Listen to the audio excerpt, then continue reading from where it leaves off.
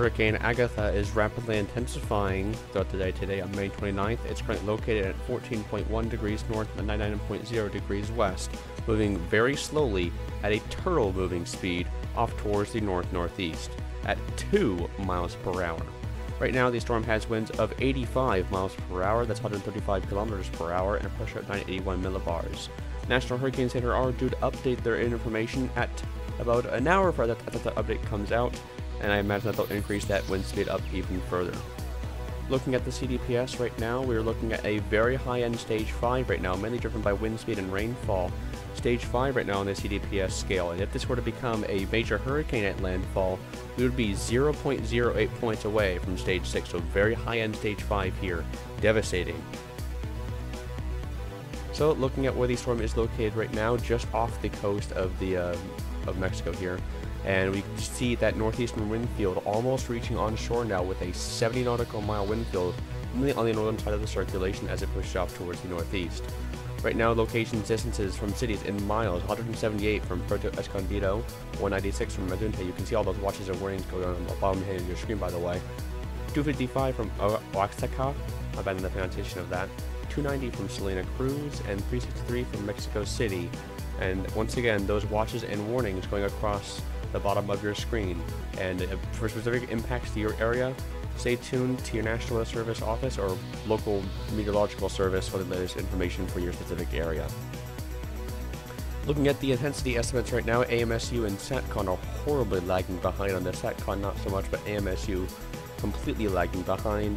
Uh, National Hurricane Center saying that they were mainly going with 85 miles per hour. We agree with that based on the Dvorak estimates, and that seems pretty solid at this time. Looking at the National Hurricane Center forecast cone, that, that landfall time has once again been pushed back. Um, we, we, were looking at perhaps a uh, 1 p.m. Central Time landfall about 12 hours ago, but now it looks like that it might be back to the afternoon hours again tomorrow. So just tossing and turning between um, between like the early afternoon and the uh, late afternoon hours. So uh, landfall is coming, and it will be happening sometime tomorrow afternoon um, but I imagine it will be in the later parts of the afternoon tomorrow. Looking at sea surface temperatures right now, uh, they are pretty favorable under the storm. They have decreased a little bit due to upwelling of the storm, and um, of course, you know, with those sea surface temperatures upwelling, they aren't going to remain, uh, going to be a, uh, an issue here, but ocean heat content certainly will be, as there is next to none of that in, the, in this region. Looking at the HWRF wind speed graph, still forecasting a low and major hurricane briefly. And look at that rainfall estimates, 32 inches or higher. That's a bit of an aggressive estimate. Uh, but let's look at how many areas are going to get heavy rainfall from this. A lot of areas.